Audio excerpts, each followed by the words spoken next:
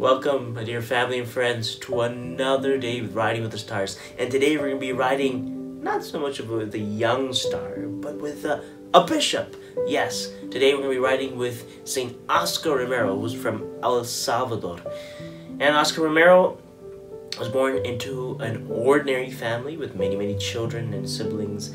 And but his father said one day that he is going to be a carpenter because he was really good with working with his hands and fixing things.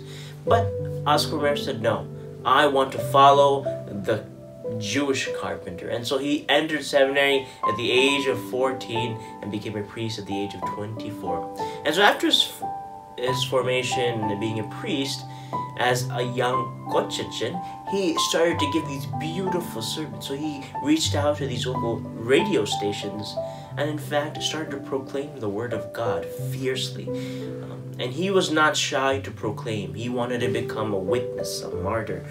And so right before 10 years before his death in 1970, he became and was ordained a bishop.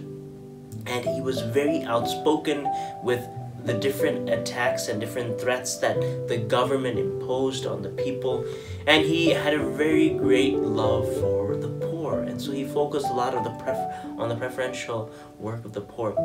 And Oscar Romero and these radio stations again he would strongly and violently speak against these violent activities of the government and uh, he would always be um, telling the people that I will be giving my life and sacrificing for the salvation redemption of the people of El Salvador.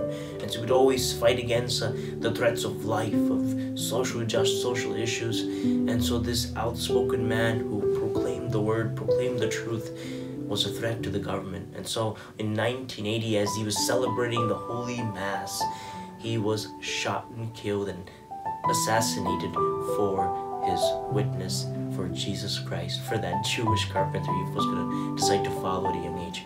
And so in today, journeying with uh, Oscar Romero, who died in 1980, what can we learn? Because one of his fans is our Pope today, Pope Francis, who canonized him. And I was actually there for the canonization process in Rome.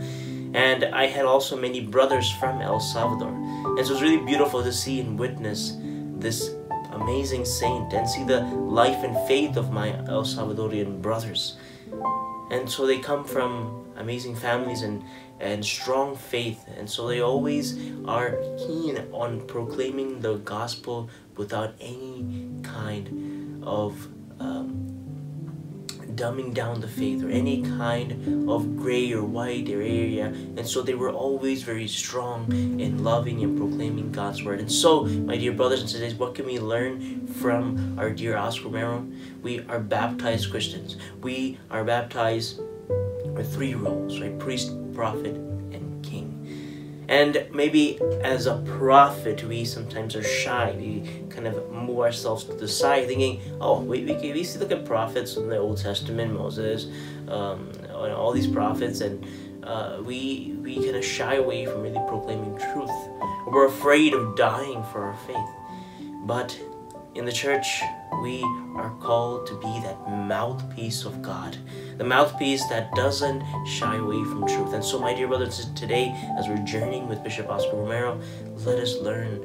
Let us pray for the many bishops and priests of the diocese of, of the world and our lives that they may proclaim God's word without shying away making not making it feel good kind of homilies, but actually proclaim good, proclaim the truth, and proclaim against the violent activities of anyone, and so that we may really truly live as disciples, as martyrs.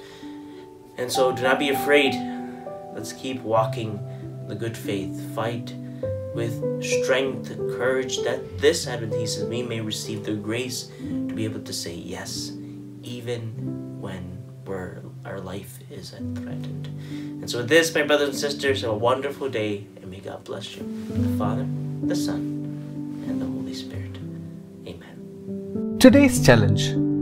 Let's especially remember all the missionaries who fearlessly proclaim the Word of God, introducing Christ to those who have never heard of Him, and in the process face imprisonment and endure persecutions. Shall we proclaim today as a day of fast for our missionary brethren? Ejaculatory Prayer. Into your mighty hands, O Lord, I offer our beloved church authorities.